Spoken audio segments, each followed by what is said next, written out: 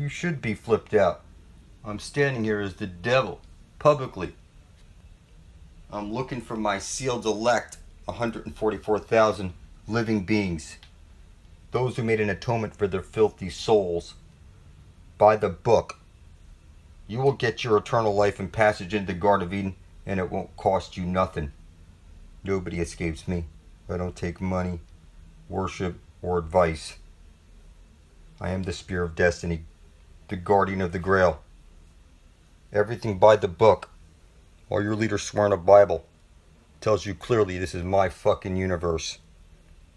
It's not what you believe.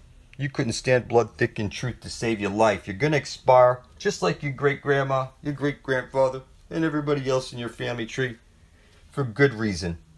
You never spoke a single truth. You're a walking sin. Every breath out of your mouth is a fucking sin. You couldn't make an atonement for your filthy soul by the book to save your life or the lives of those you suggest you hold dear. You earned your fate. Now lap it up.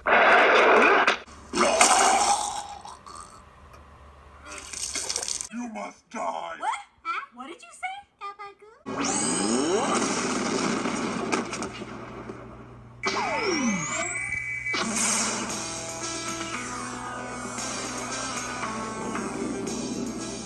can't be good.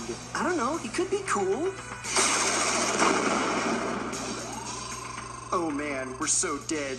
Maybe no one will notice. Oh, who unleashed the destroyer of worlds? Good show. Uh oh. Here.